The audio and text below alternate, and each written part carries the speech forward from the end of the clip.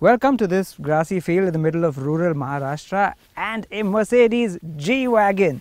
Now I love these things, they're more than just an SUV, they're an entire occasion. Now you've got to understand that thus far in India, the G-Wagon has only ever been sold in AMG guise and that means a big, shouty, petrol-powered V8. They are absolutely epic. However, their price is equally epic and they also come with epic running costs. So now Mercedes has introduced this for the first time in India, the G350D, a diesel powered G-Wagon that promises to be just that little bit more sensible. But can a G-Wagon be sensible? Should a G-Wagon be sensible? Can you really have your cake and eat it too? Well, that's what I hope to find out today.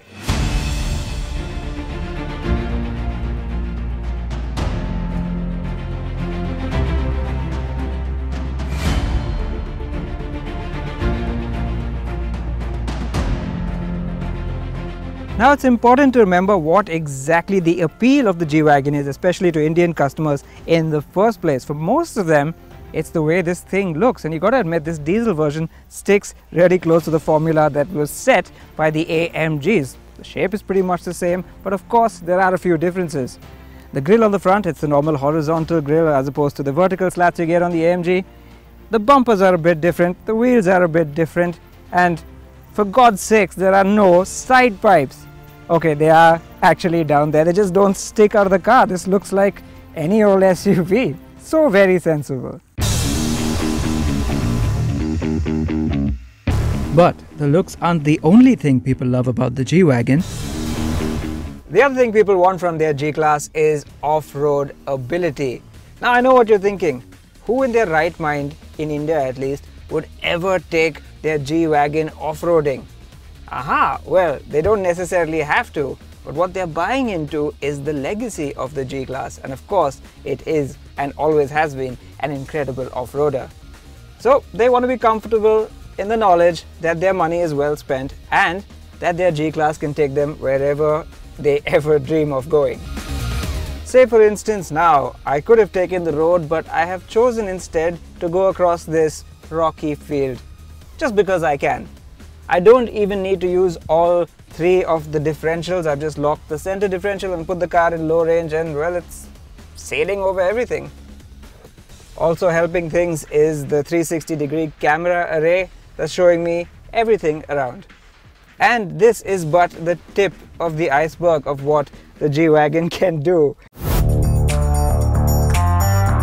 And since there was no off-road proving ground to really test its true capabilities, I headed over to where most G-Wagons in India will spend their time.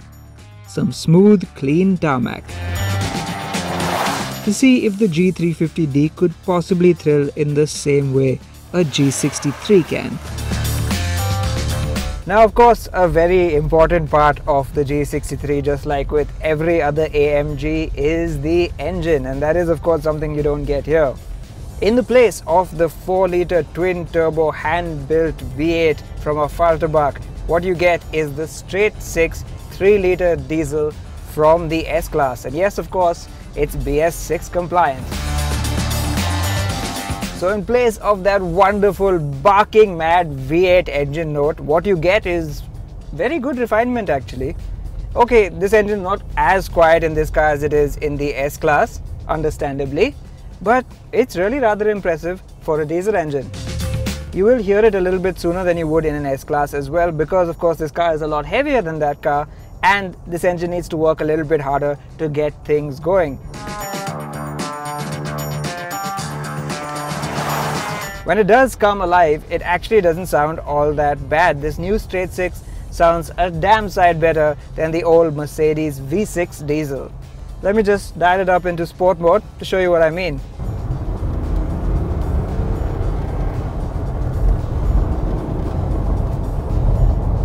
Sounds pretty good, huh? And that brings me to the other thing that you miss from the AMG V8 and that is of course the performance. That car had 585 horsepower, this one has nearly 300 horsepower less at 286. But with a big heavy SUV like this, it's the other figure, the torque, that's almost equally important. While the AMG makes 850 Nm of torque, this one makes 600 Nm, which is still quite a lot. And it makes all 600 of those Newton meters at just 1200 RPM. But how does that feel? Well, while the AMG felt like a surprise sucker punch to the jaw every time you put your foot down, this one feels like more of a spirited nudge, if you know what I mean. But don't be fooled, the Diesel G is no slouch. When we plugged it into our satellite guided VBOX testing equipment, it recorded a 0 to 60 kph time of 3.33 seconds, a 0 to 100 kph time of 7.53 seconds, and kicked down overtaking times from 20 to 80 and 40 to 100 that were both comfortably under 6 seconds. So yeah, it's not quite as quick as the 4 litre twin turbo V8 petrol version, but it certainly isn't slow. But here's the other thing you tend to forgive the AMG G63 quite a few things because it's just so mad. It's a ludicrous car, it's a bit of a toy, and well, it does get away with a lot of small flaws. But because this G350D is the sensible version of the G-Class, I think that opens it up to a little bit more scrutiny. For instance, in this car, I don't mind pointing out that rear visibility is rather appalling thanks largely to that huge spare tire strapped onto the tailgate.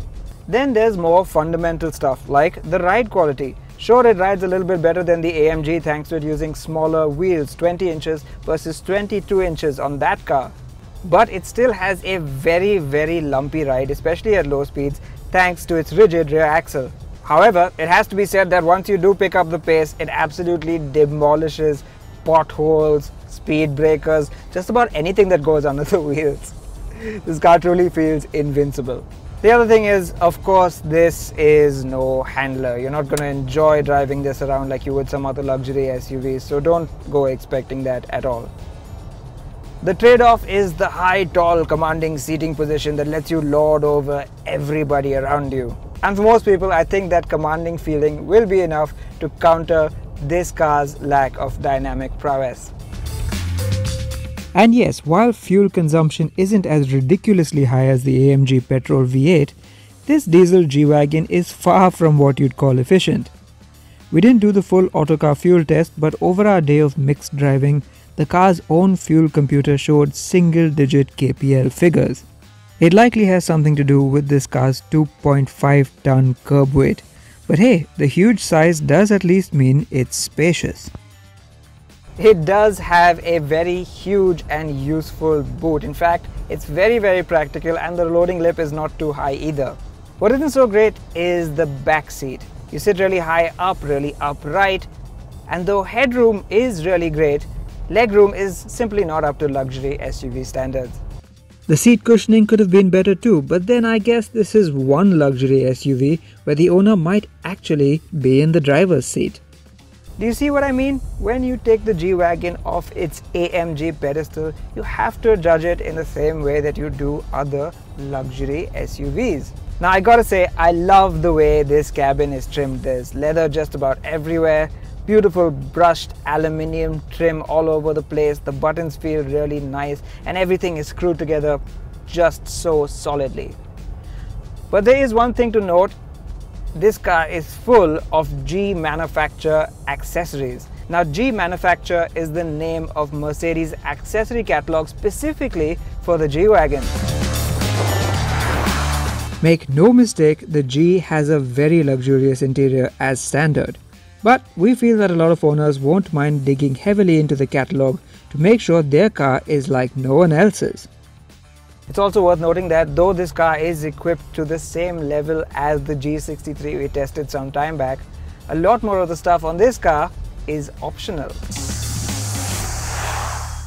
Again, the essentials are standard like LED headlamps, 8 color ambient lighting, a rear view camera, Apple CarPlay and Android Auto, and even some connected car tech. But if you want stuff like the Burmester audio system, adaptive LED headlamps, 64 colors for your ambient lighting, seat heating, cooling and massage, and oh yes, the sunroof, you'll have to pay extra. And here's the thing, at 1.5 crore rupees ex showroom before those options, the G350D is still very expensive. Sure, a G63 may cost 50% more than this, but then this one in turn costs 50% more than a GLS. While usually buyers of luxury cars are happy to settle for a smaller engine if it means a more reasonable price, does that still apply when the price is north of 1.5 crore rupees? The diesel G Wagon then is a bit of an anomaly. You're certainly getting the best of both worlds the rugged appeal of a G Class, insane off road ability included, in a package that's cheaper to buy and to run. Still, we suspect that most people who've decided to splurge on an indulgence like a G Wagon would be happy to go the whole hog and just get an AMG G63 instead.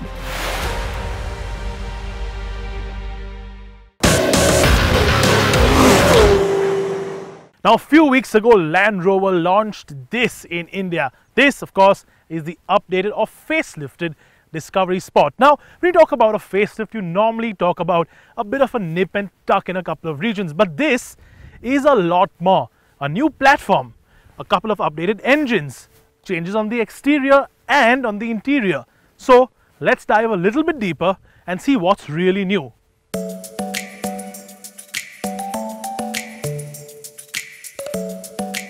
Let's talk about those obvious changes on the exterior first. There are elements similar to the larger full-size Discovery, especially around the front bumper, which is smoother, more aggressive, and has a lot more girth to it, at least visually. The S variant that we have here is the entry-level model that gets a pronounced silver skid plate on the lower half, matched with unpainted claddings around the edges and the sides. The grille is painted in a similar shade of silver with the typical Land Rover honeycomb design and the headlamps that are also akin to the ones on the bigger Discovery now get sharper with new LED daytime running lights and LED lighting elements as standard across all variants. Along the sides the changes are minimal with the exception of new wheels and around the back you get a similarly updated bumper with a set of new LED tail lights that have a really detailed lighting element. Now moving to the interior of the Discovery Sport, it's certainly become a much nicer, a more luxurious place to be in. But some of the quirks that I used to particularly love of the pre-facelift car have sort of been replaced by something more conventional like the gear lever. This more conventional gear lever replaces the older rotary knob that I particularly liked. I thought it was a very cool Maybe a little bit of a gimmick, but very cool feature nonetheless. You also get a lot of nice raw wood finish on center console, on the side panels and the dashboard. A lot of use of brushed aluminium and of course gloss black. The centerpiece of the dashboard of course is the new 10-inch high-definition infotainment screen that now thankfully features a brand new and much more usable user interface. You also get the usual like inbuilt navigation, Apple CarPlay, ambient lighting, and of course some off-road data screens for when you go off the beaten path. And just below that big touchscreen is this big massive gloss black slab that has all the buttons you need for your climate control and some of the buttons actually double up to do more things. So for example, the fan button is in place of the temperature control for the passenger seat other features include a new steering wheel with haptic feedback controls, a part digital part analog instrument cluster on this variant, and a massive panoramic roof. The top spec variants do however get a full digital instrument cluster like this one here and that clear sight rear view camera and mirror screen package. One of the main draws of the Land Rover Discovery Sport is the fact that it is a 7-seat SUV and that seating configuration continues on the updated model too. But while there's a decent amount of space, the rear seat in particular offers slightly less under thigh support and the seat itself, both front and rear, are overly firm and just don't feel as plush as compared to some of its rivals. The third row is best reserved for children or for very short trips as there isn't enough space for a fully grown adult to spend any extended amount of time there.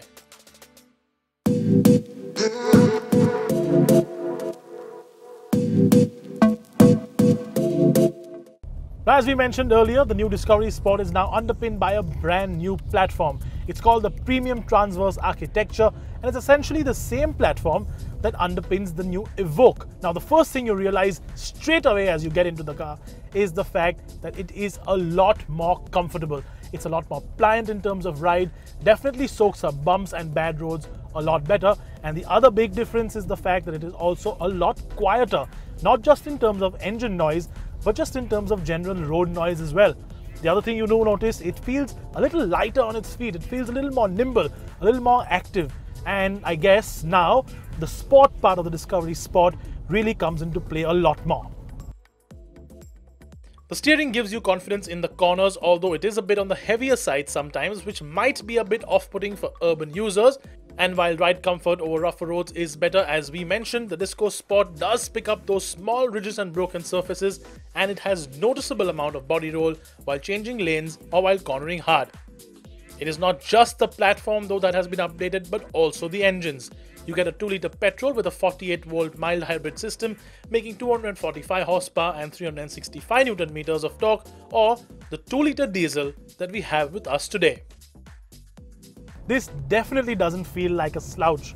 Now it's made it to a 9 speed automatic gearbox and that gearbox has definitely been retuned in the update because even in normal drive mode it doesn't feel as laggy or unresponsive as it felt earlier in the pre-facelift car. If you have a light enough right leg, the Discovery Sport will be happy to cruise around in the ninth gear at speeds as low as 80 km per hour, something most other SUVs with as many gears do not do. That said, when you do pin the throttle down and munch through the revs, power delivery does start to taper off rather quickly with that mildly disappointing top end performance in the rev range. And while there is still some gruffness and it really can't match the level of refinement one notices with the Germans, it is an improvement over the early Discovery Sport. Of course, all variants get all-wheel drive as expected, mated to those rather legendary off-road modes like sand, snow, mud, and an easier auto mode that lets the car's brain do the thinking. But there's no use just talking about them. This, of course, is a Land Rover, and that means I'm obliged to take it off-road, even if it's on a bit of a fast gravel trail. Let's go discover some.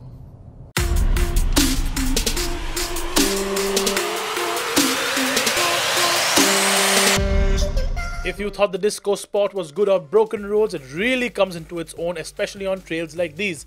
And as we bashed through the Deccan countryside, kicking up dust on what was a glorious day with blue skies, the Disco Sport did everything we asked for without a single bit of fuss.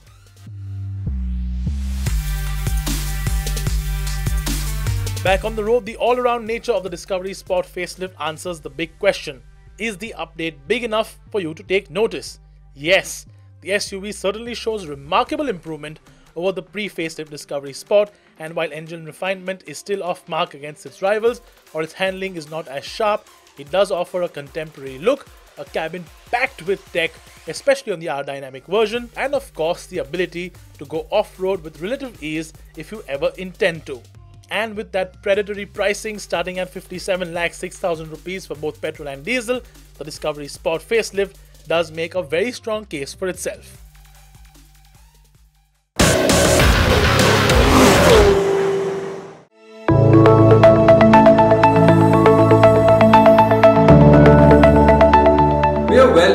Lockdown period. It is possible that we could also have to work from home for longer and a lot of you are worried about those cars that have been parked and stationary for long. Here are a few key tips to keeping your car in good working condition. We all know that the battery gets depleted if we don't start the car for too long. So, rule number one is to start your vehicle once a week and keep it running for at least 15 minutes.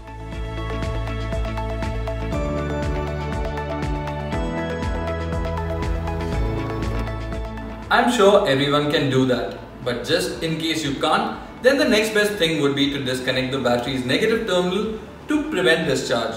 Now while starting up the car is one aspect, all the moving parts also need to be kept running. Try to take the car for a spin in the society compound or just move it forward and backward.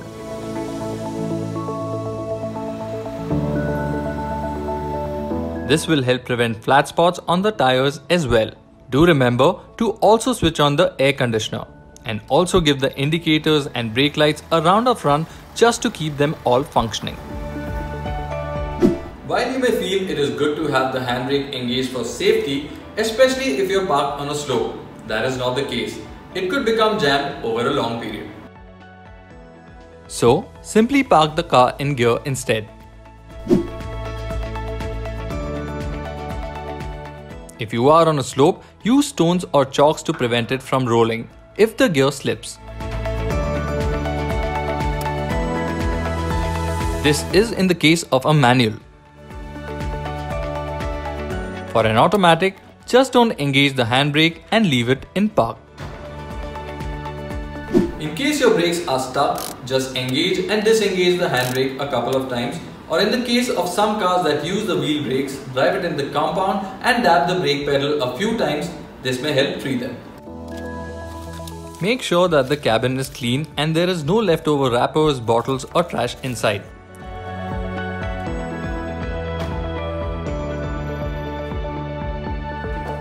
Dust off the mats and keep the AC vents clean too. We have another whole video on how to sanitize your cabin. So watch that too for some tips on sanitizing the cabin. Last but not the least, protecting the exterior is important too. So remember to get your car washed or wiped regularly to avoid damaging the paint. Since everyone has time on their hands, might be a good idea to wash down your own car or wax it. Remember to try and keep it parked in a shaded spot too.